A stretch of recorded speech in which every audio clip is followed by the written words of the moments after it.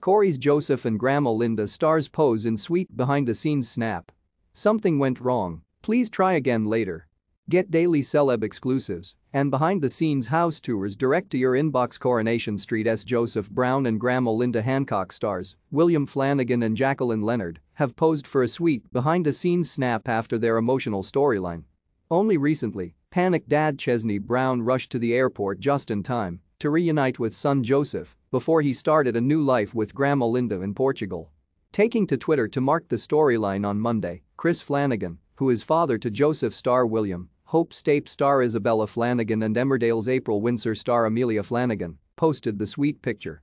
The proud dad penned, at Jackie Leonard will loved filming with you and will miss Grandma Linda, maybe it's time they bring back the added Corrie specials and do a Portugal one.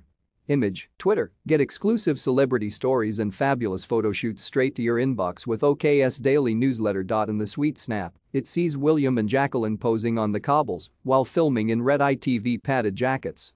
During Monday 28 February's episode of the ITV soap, Chesney was in a race against time to make it in time to get to Joseph before he started his new life with Grandma Linda in Portugal. The pair eventually came face to face and enjoyed a heartfelt chat as Chesney realized he'd made a mistake and that Joseph didn't want to leave after all. Soap fans were thrilled that Chesney got to Joseph just in time before he left the country with his ex Katie's mum.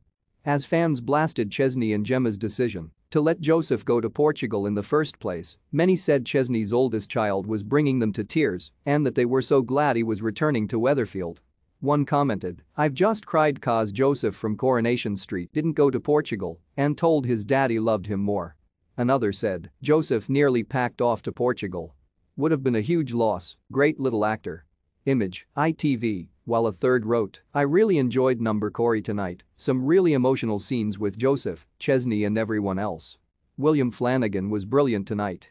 It comes after Corrie fans went wild after recognizing Grandma Linda star Jacqueline Leonard from EastEnders. Soap watchers were left distracted during the scenes after instantly recognizing Linda star Jacqueline, 56, from her role as Lorraine Wicks on EastEnders, who played the on-screen mother of Joe Wicks, Paul Nichols. The actress played the role on the BBC One soap from 1996 to 1997. Jacqueline has also starred in the likes of Holby City, Doctors and River City. Coronation Street continues on weekdays on ITV